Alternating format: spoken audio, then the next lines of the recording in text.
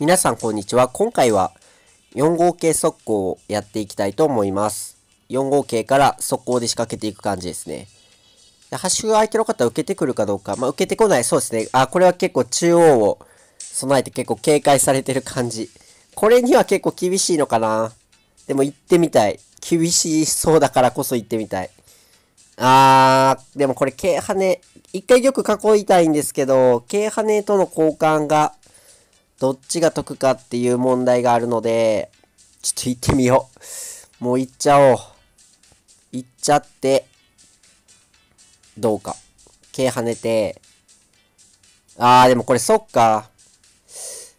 そっかっていうか、なんかやっぱり威力なんで、ちょっと後でなんか大手飛車とかそういう筋を食らいそうな感じがあるんですけど、大丈夫かな。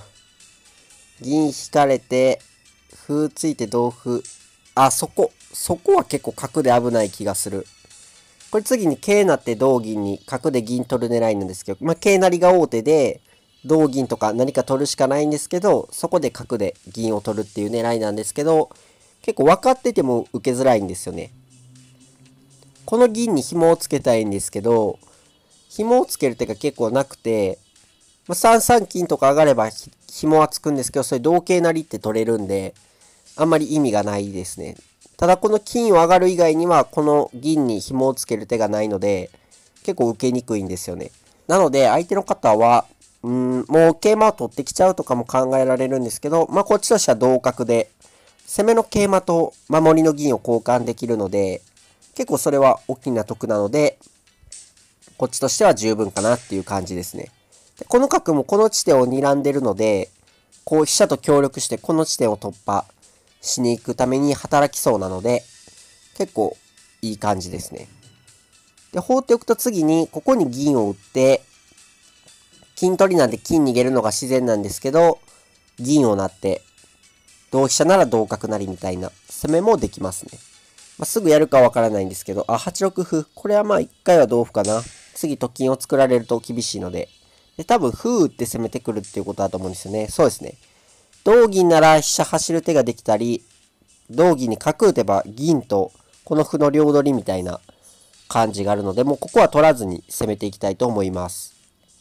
ここで桂馬取ってきたらこっち歩になって、それは2筋を突破しているこっちの攻めの方が厳しいので、そうですね、相手の方は歩を取って同歩に歩を打って受けてくるんですけど、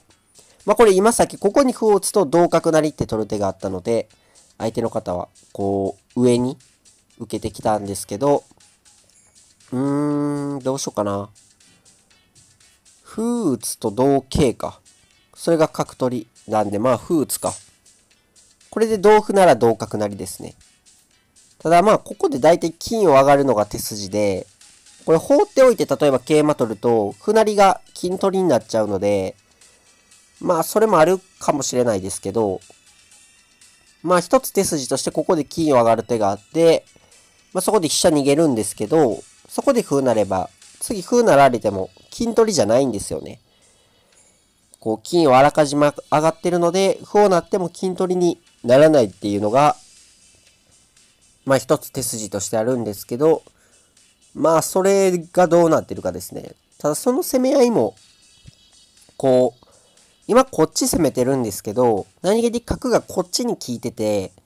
こっちの逃げ道を塞いでる意味があるので、こう、両方から攻める形になってるんですよね。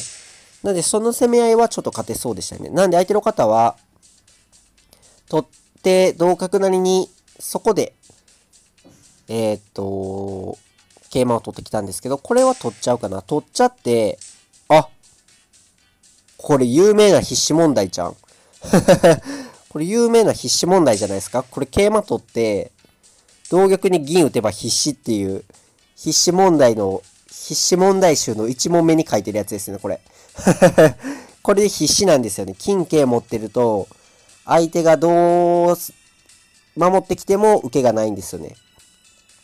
まあ、次、頭金の詰めろなんですけど、飛車とか打っても、桂馬打つのが攻守で、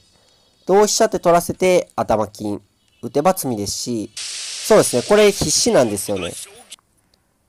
まあ、ちょっと見ていくと、ここに飛車打っても桂馬打って、同飛車は頭金ですし、逃げても金打ちで詰みなので、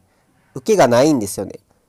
で、頭金を防ぐなら歩を打つとかもあるんですけど、それ、ここに金打てば詰みなので、これはいわゆる必死形でこっちの勝ちですね。まあ、こっちの玉も詰まないので、これは勝ちですね。最後はうまく寄せが決まりました。今回は以上です。最後までご視聴いただきありがとうございました。チャンネル登録はお任せしますので、もう一本動画を見ていただけると嬉しいです。ありがとうございました。